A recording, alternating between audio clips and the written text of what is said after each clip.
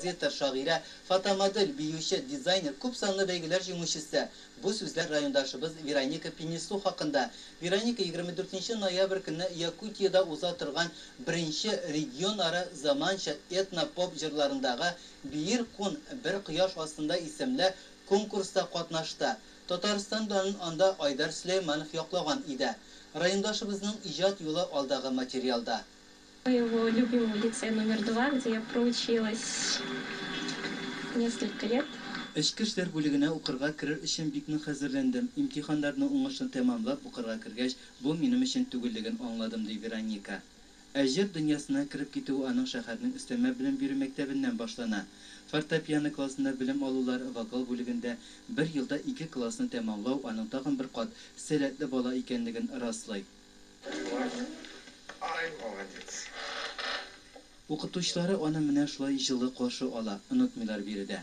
Это Она выступала уже в районе, она была уже так и она стихи свои сочиняла, везде выступала она. Аның яшерен сәләте бар иде. Ул инде районда чагында ук вокал буенча чыгышлар ясады. Мәктәптән соң инде мөмкинлекләре тагын да артты. Ул бүген безнең горурлыгыбыз. Сцену и всегда говорила маме, я настоящий артист. Мин үземне һәрчак артист итеп күрдем. Әнимә дә шул килдем. Аның яшьле хыялы чынга аша. Талантлы җырчы буларак кына түгел, төрле конкурс бәйгеләрдә фотомодель буларак та ачыла.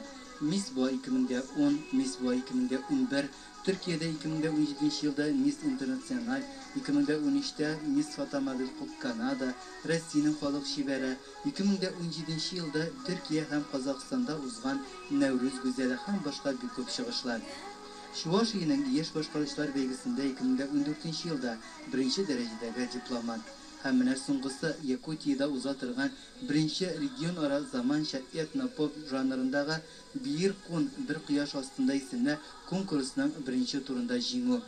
11 регионнан килгән яшь башкаручыларны 2018 елның 15 январеннан 11 февральгә кадәр телеэкраннар аша трансляцияләячәкләр.